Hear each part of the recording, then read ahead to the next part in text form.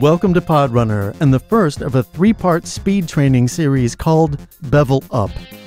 Hey everybody, I'm Steve Boyette, and this new series is designed to condition you to run at a competitive pace of 180 beats per minute. But it's a great tool for anyone who wants to work on increasing overall speed. The way it works is pretty simple.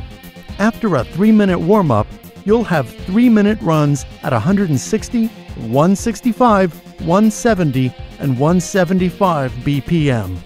In between each of those runs will be a 1 minute burst at 180 BPM.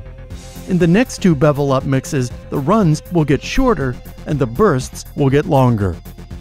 If speed training is new to you, I recommend doing each bevel up mix three times in a week before moving on to the next, working on getting further into the mix each time.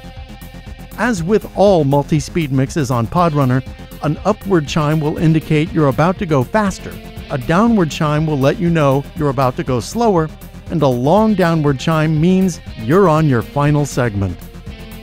A look at the BPM chart shows you where this series got its name, because it looks like a bunch of grooves made with a bevel. You can find the BPM charts, playlists, and more by clicking the Bevel Up link on the Programs page at podrunner.com. And if this program is a helpful training tool, consider making a contribution or purchase at podrunner.com as well. Now, here comes 23 minutes of beveled grooves for another great training tool from Podrunner. Have a fantastic workout. Let me know how this one works for you. Have fun and keep going.